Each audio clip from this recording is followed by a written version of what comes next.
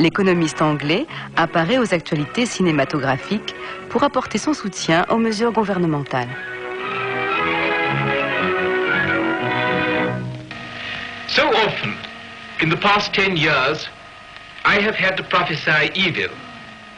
But now, a great weight is lifted from us, a great tension relieved. There's no danger of the exchange falling too far. There's no danger of a serious rise in the cost of living. The worst I should expect would be a return to the prices of some two years ago. But meanwhile, British trade will have received an enormous stimulus, much more than most of us have yet realized.